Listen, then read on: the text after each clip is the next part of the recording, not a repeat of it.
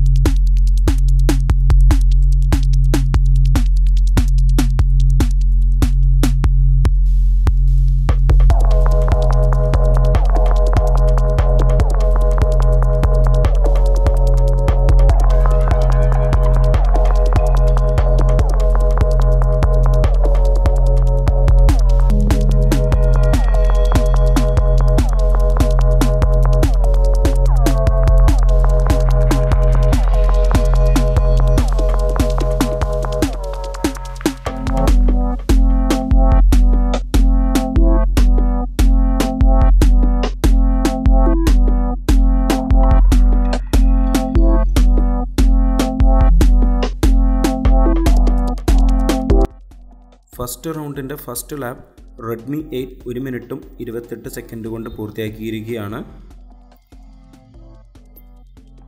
അതേസമയം Samsung M ten S ഒരു minute മുപ്പത്തിനാല് സെക്കൻഡ് കൊണ്ടാണ് ഫസ്റ്റ് ലാബ് പൂർത്തിയാക്കിയിരിക്കുന്നത്. ഇനി നമുക്ക് റാം മാനേജ്മെന്റിലേക്ക് വരാം.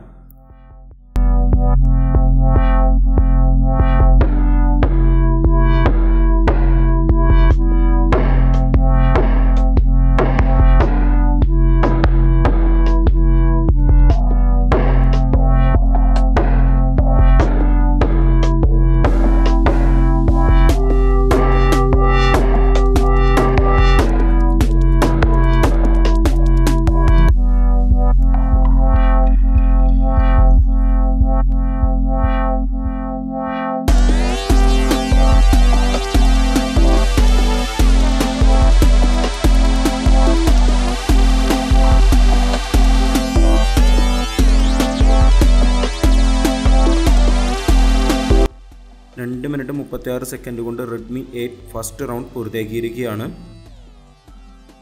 അതേസമയം സാംസങ് എം ടെൻ എസ് മൂന്ന് മിനിറ്റും നാല് സെക്കൻഡ് കൊണ്ടാണ് ഫസ്റ്റ് റൗണ്ട് പൂർത്തിയാക്കിയിരിക്കുന്നത്.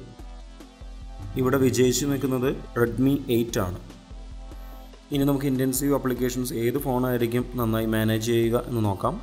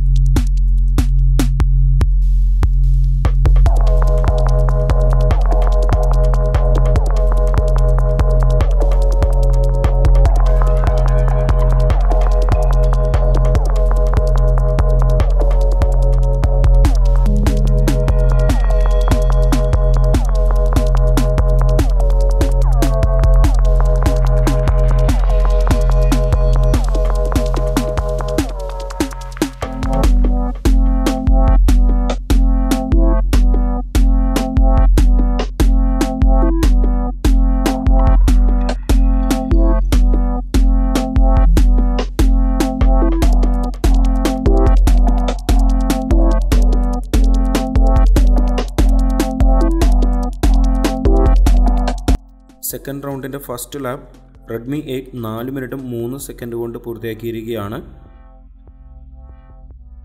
സാംസങ് എം ടെൻ എസ് മൂന്ന് മിനിറ്റും അമ്പത്തൊമ്പത് സെക്കൻഡ് കൊണ്ട് സെക്കൻഡ് റൗണ്ടിന്റെ ഫസ്റ്റ് ലാബ് പൂർത്തിയാക്കിയിരിക്കുകയാണ്.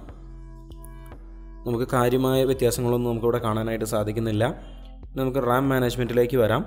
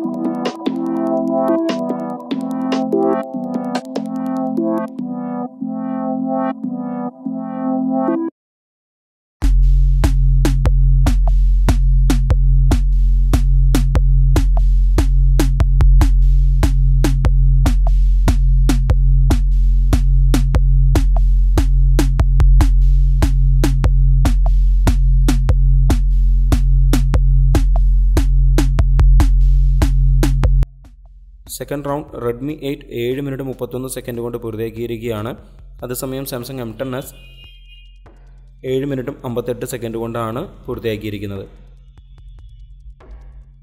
ഈ സ്പീഡ് ടെസ്റ്റിൽ രണ്ട് റൗണ്ടിൽ വിജയിച്ചതും റെഡ്മി എയ്റ്റ് തന്നെയാണ്. ഇനി നമുക്ക് രണ്ട് ഫോണിന്റെയും റീബൂട്ടിംഗ് ടൈം നോക്കാം.